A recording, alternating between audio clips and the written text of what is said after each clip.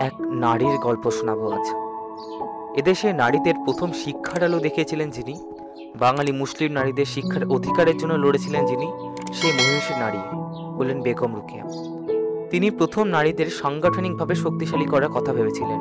বঙ্গীয় নারীদের মধ্যে তিনি কলম ধরেন। কলম ধরেন নারীকে পণ্যকরণের বিরুদ্ধে তীব্র নিন্দা জানাতে, যার লেখনীতে ঘোষিত হয়েছিল, মানুষ হিসাবে ভগ্নীদের আত্মসম্মান ও নিজস্ব অতিষ্ঠ প্রতিষ্ঠার কথা।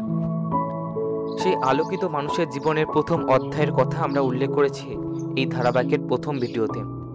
সেখানে আপনারা জেনেছেন তার জন্ম ইতিহাস, তার পরিবার বেড়ে ওঠা এবং তার জ্ঞান চর্চার কথা।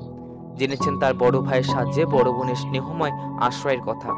আজকের এই ভিডিওতে থাকছে তার জীবনের পরবর্তী অধ্যায়ের কথা।